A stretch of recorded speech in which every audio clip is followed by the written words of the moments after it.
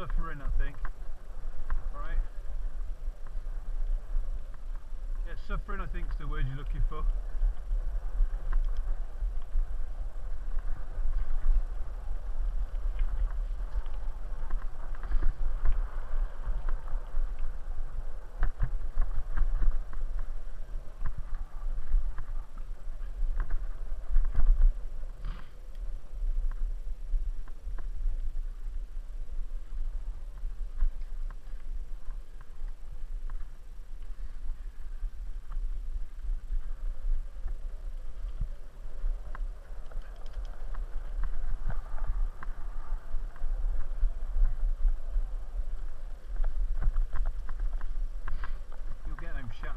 A big smile on your face.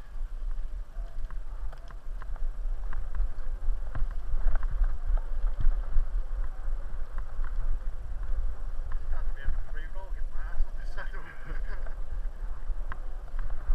you remember what I said to you about I double trouser up sometimes?